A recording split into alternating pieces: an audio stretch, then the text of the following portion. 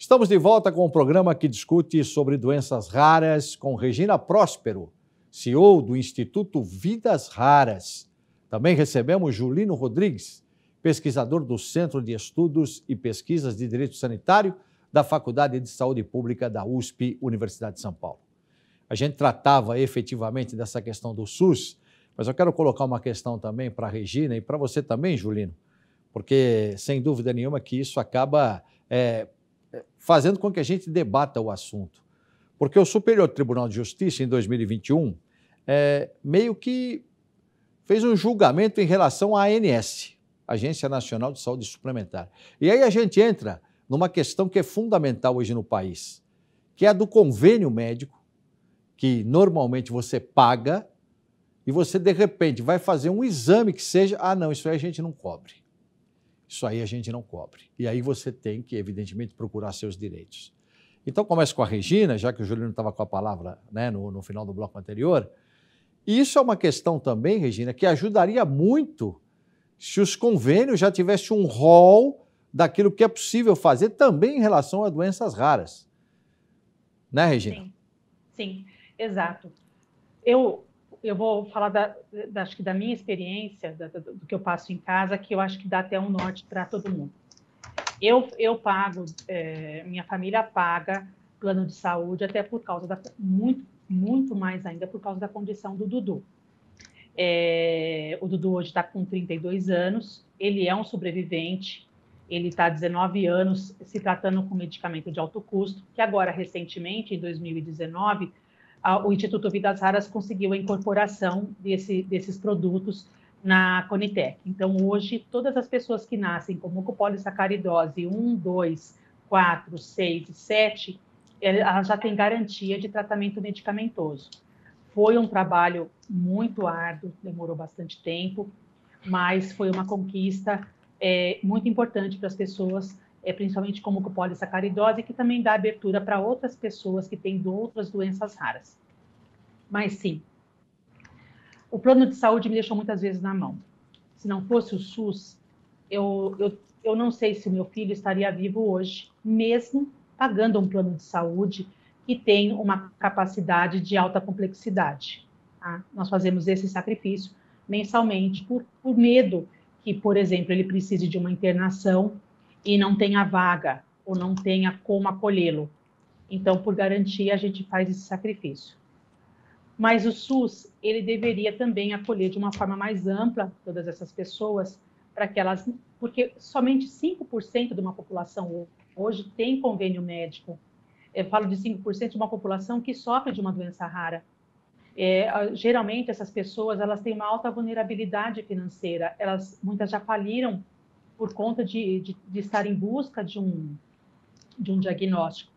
Os diagnósticos ainda são muito tardios. Quando essa pessoa é, tem o diagnóstico fechado, ela já está sequelada, que é muito triste. Nesse caminho, um ente já parou de trabalhar, ou a mãe já foi abandonada pelo esposo ou pelo companheiro e seguiu a vida dele enquanto ela ficou com os filhos e aquele filho acometido. Então, nós estamos falando de, não só de uma, de uma família que está com alta vulnerabilidade por conta da doença, mas uma questão social muito severa. Aqui na associação mesmo, a gente depara muitas vezes com famílias que recebem um medicamento de alto pulso na sua casa, que custa em torno de 20 mil reais é, por mês, mas ela não tem o que comer, às vezes ela não tem uma cesta básica.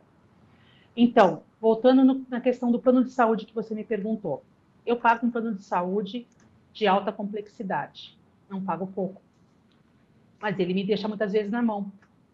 Acontece também que, em contrapartida, esses planos estão buscando chamar atenção para quê? Para que eles tenham também é, segurança jurídica para poder colocar em prática todo esse rol que eles são, estão sendo obrigados a, a manter. Porque hoje a gente está falando aqui, por exemplo, de um exame de exoma que custa em torno de 6, 7 mil reais.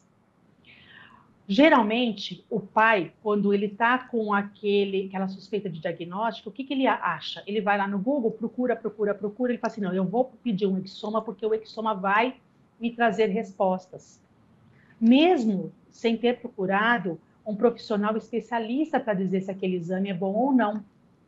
Um médico que não está acostumado a ver toda essa essa essa prática, né, no dia a dia, talvez ele receite mesmo um exoma, sem saber que existe um exame mais barato e mais preciso. Então, eu acho que assim, eu estou sendo até advogada do diabo aqui, tá? E não, não me interpretem mal. Os planos de saúde, eles têm que entender que eles têm que acolher sim, mas é preciso que se tenha garantia de que aquilo que se está pedindo é o ideal para aquela condição. Porque senão todo mundo vai querer o exoma e o exoma nem sempre vai ser a resposta adequada para aquela condição. O que, eu, o que eu sinto realmente é que falta capacitação, tá? no geral, tanto na parte pública como privada, para acolher as pessoas e as famílias com doenças raras. E aí sim, a gente vai poder cobrar de cada um a responsabilidade que ele tem e que ele precisa exercer. Só, Regina, o, o exoma, queria que você explicasse, é, é um tipo de um exame? É um exame que busca a, que busca a anomalia no DNA. Ah, perfeito. Aí você fala assim, poxa, então se eu for casar hoje, tá? Vamos falar de exame pré-natal, que isso se usava muito lá atrás, né? Hoje a gente quase não, não escuta falar né? Aí muita gente me pergunta: se eu for fazer um pré-natal, eu posso pedir um exame que mostre para mim se eu tenho, é, se eu tenho é, condições um dia de ter filhos com doenças raras? Não, não tem exame que faça isso. Porque para você saber se a sua condição genética e se ela é compatível ou, ou não para ter um, um filho com uma doença rara com a sua parceira, você tem que buscar numa cadeia de mais de 33 mil genes e você vai procurar o quê? Não tem como. Agora, sim, no meu caso, eu sei que eu, hoje, Regina, eu sei que eu tenho um gene de mucopolissacaridose aqui dentro de mim que não vai me acometer, mas que acomete os meus filhos caso eu tenha um parceiro que tenha a mesma condição genética. Então, os meus irmãos, se eles quiserem buscar se eles têm essa alteração genética dentro deles, é válido, porque o médico que vai é, buscar essa, essa resposta no exame de DNA, ele já sabe aonde procurar. Mas hoje, se você quiser preventivamente fazer um exame para saber se você tem uma condição genética susceptível para ter filhos com uma doença rara, é muito difícil caso você não tenha um histórico familiar.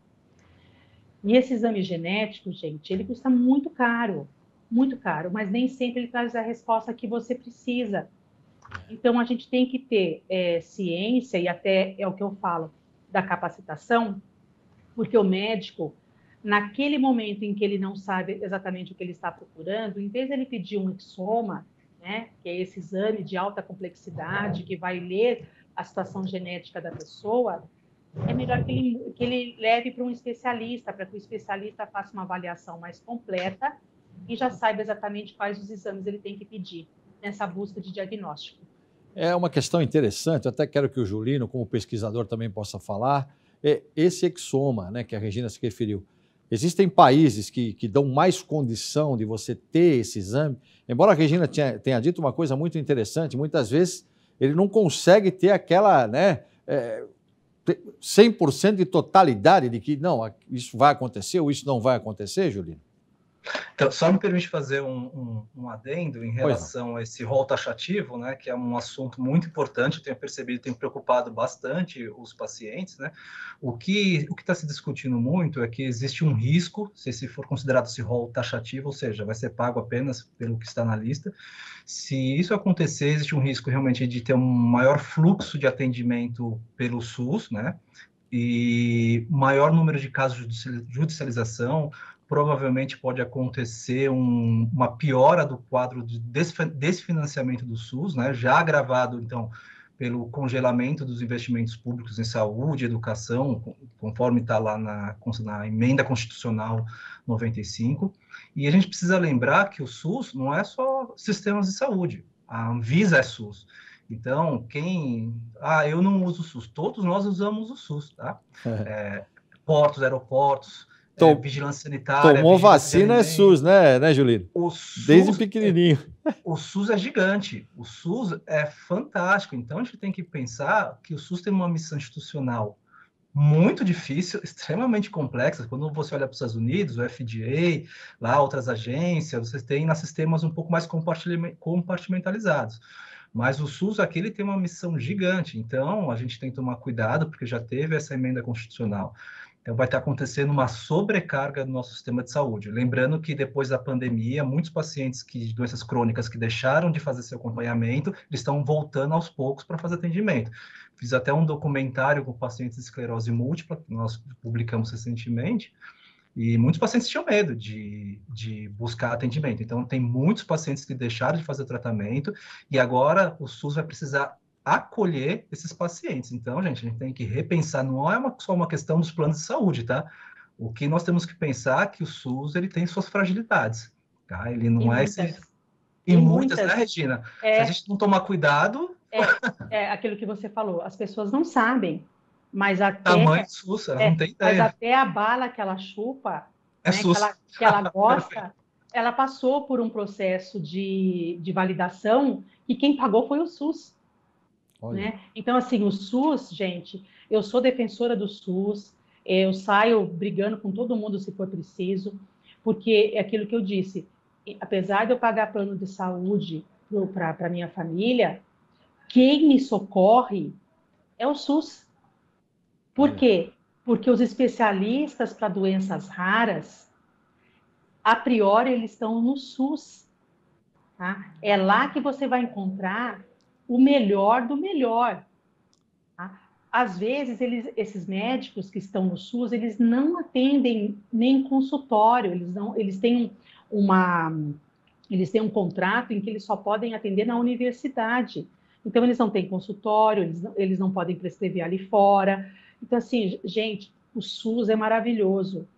E quando eu vejo as pessoas xingando o SUS e falando, né, ah, porque não presta, essa filha, eu fui buscar remédio e não tinha.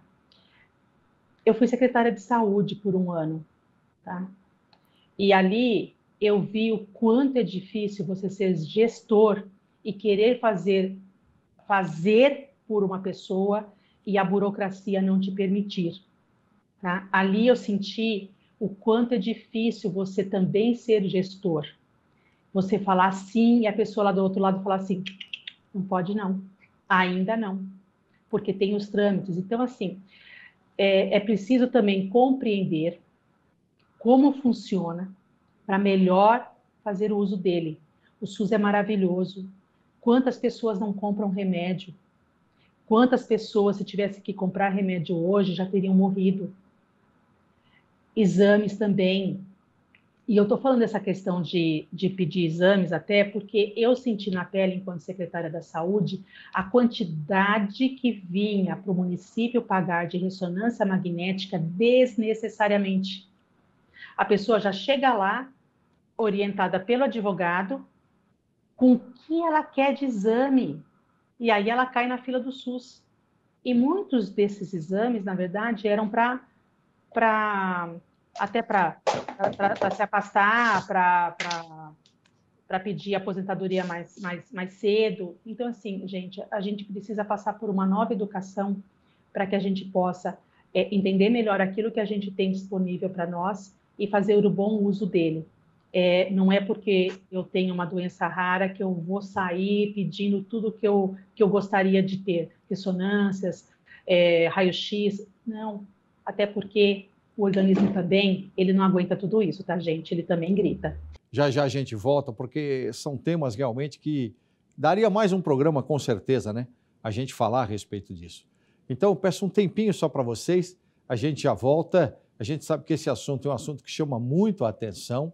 Estamos com dois especialistas e faço aqui um adendo. É, o Julino falou é, no começo que a Regina é uma referência, e de fato ela é uma referência porque além dela ter toda a experiência que ela tem, né, esse instituto, é, olha, ele, ele conseguiu tanta coisa que realmente chega a nos emocionar. E ela vive o problema, tem mais essa também. Então, uma especialista que vive o problema que está falando com a gente aqui. Por isso a gente já volta com decisões e argumentos.